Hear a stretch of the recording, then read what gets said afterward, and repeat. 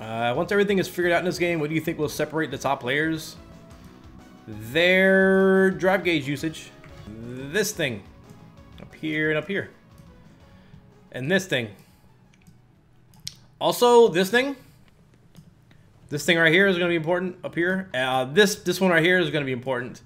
This part right here is going to be really important also. Um, this part here, and then DI, it's going to be really important. And then this part right here, their brain, this stuff right here. And then like this part of the stage, and that part of the stage is really important. And uh, yeah, I think that's what's going to separate top players. that's what's good. That's, what, that's what's gonna be.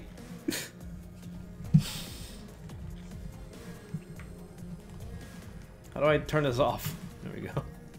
Good answer. Thank you. Thank you. I, I thought about it hard.